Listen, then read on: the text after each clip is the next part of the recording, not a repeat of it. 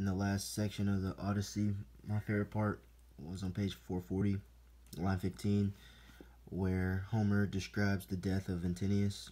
Um, but Odysseus aimed and shot Antinous square in the throat, and the point went stabbing clean through the soft neck and out and off to the side. He pitched the cup dropped from his get from his grasp as the shank sank home, and the man's lifeblood came spurting from his nostrils. So, with this is pretty graphic, and it definitely highlights that that sense of justice slash revenge that we discussed in class.